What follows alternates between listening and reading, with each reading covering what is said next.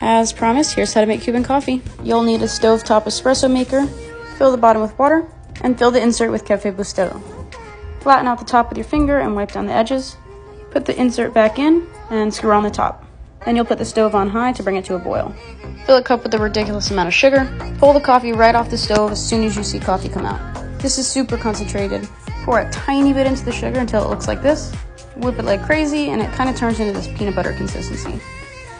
Finish boiling the rest of your coffee and pour it into the sugar mix. My cup was too small, so I had to use a measuring cup. And because I whipped the sugar, it creates this really creamy top.